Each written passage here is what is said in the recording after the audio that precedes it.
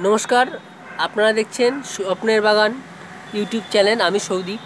আজকের ভিডিওতে যে বিষয়টা নিয়ে আলোচনা করব, এই গাছটা দেখে আর ভিডিও টাইটেল দেখে আপনারা আশা করি বুঝতে পেরেছেন যে এটা এলাচ গাছ। যারা চেন, চিন মানে যারা এলাচ গাছ কখনো আগে দেখেনি, তারা দেখে নিন।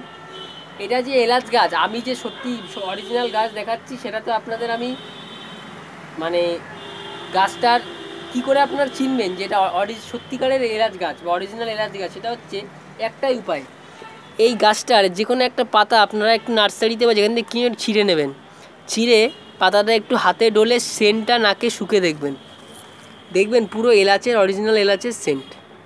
এইভাবে আমি নার্সারিতে যখন প্রথম এনেছিলাম, তখন আমারও কিন্তু গাছটা দেখে মনে হয়নি যে এটা এলাচ গাছ। যদিও আমি এলাচ গাছ চিনতাম না তখন। তারপর আমি একটা পাতা আমাকে নার্সারি লোক শুকিয়ে মানে ছিঁড়ে আমাকে বলে এটা শুকিয়ে দেখতে। আমি যখন পাতাটা দেখি তখন সত্যি এটা মনে হলো এলাচ এবং পরে আমি এইটা নিয়ে বিস্তর কিছু মানে দেখলাম যে সত্যি এটা এলাচ গাছ এবং এটা ছাদে করা যেতে পারে।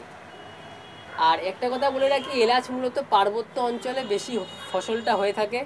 পাহাড়ি অঞ্চলে, বিশেষ করে পাহাড়ের যে মানে জঙ্গল, পাহাড়ের ভিতরে যে বড় বড় গাছ থাকে, বড় গাছের নিচে অনেক সময় এলাচ গাছগুলো চাষ করা হয়ে থাকে।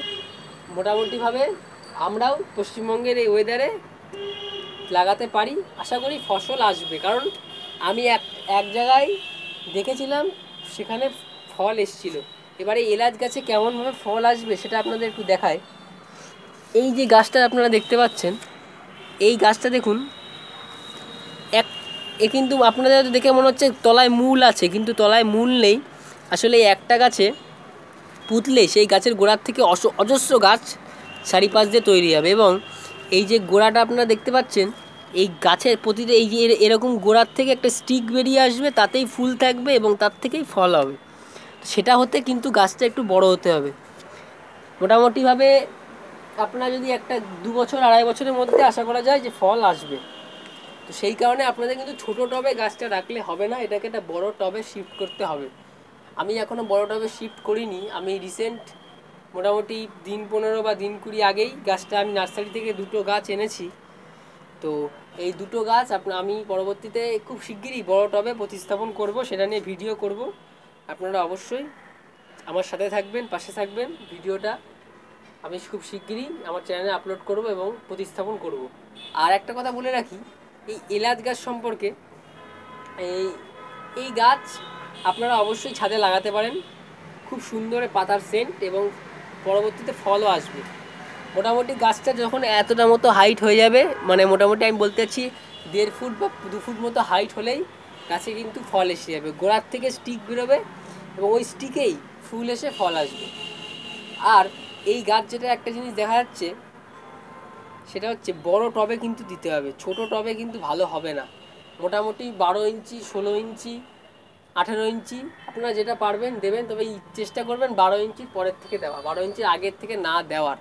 বড় জায়গায় এটা গাছটা ভালো ছড়াবে এবং একটা মানে পুরো বুশি হয়ে যাবে এবং একটা ঝাড় মতো হয়ে ওটার থেকে কিন্তু ফল আসবে।